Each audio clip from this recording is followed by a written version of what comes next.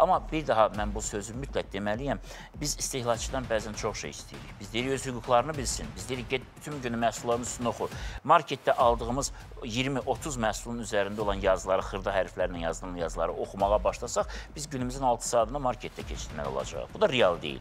Və açıq etiraf eləyək ki, ə, o yazılanların hələ nə dərəcədə həqiqətə uyğun olduğunu da biz bilmirik. Yəni burada suallarımız çoxdur və hesab edirəm ki, ə, 21-ci əsrin bax bu illəri 20-ci ildən başlayaraq ə, yeni ilə- yeni bir dövr başlayır və qida təhlükəsizliyi artıq o qədər vacib və strateji bir məsələdir ki, burada hər kəs bərabər olmalıdır. Amma bütün hallarda ə, istehsalçı şirkətlərin özünün bir məsuliyyəti olmalıdır və bu məsuliyyət olana qədər biz üzərindən gedəcəyik. Biz tənqidlərimizi eləyəcəyik. Biz onları ifşa eləyəcəyik. Çünki o çörək, o qida bizim evimizə gedir. Övladımız da, biz də hamımız ondan istifadə edirik və bizim orqanizmimizi, sağlamlığımızı onlar öz pulumuza aldığımız bax bu ərzaq vasitəsilə zəhərləyirlərsə, bizim ömrümüzü qısaldırlarsa, bizə xəstəliklər gətirirlərsə evimizə, ocağımıza, qohumlarımıza, o xəyanətdir və düşmən hərəkətidir. Bu düşmən hərəkətinin də qarşısı alınmalıdır.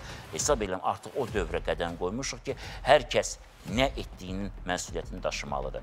Bunu artıq da vicdanın və sairənin üzərinə atmaq lazım deyil. Artıq çox konkret qanunlar, sərt qaydalar tətbiq olunmalıdır və əlbəttə ki, sərt qaydalarla bərabər çox güclü ictimai qınaq olmalıdır.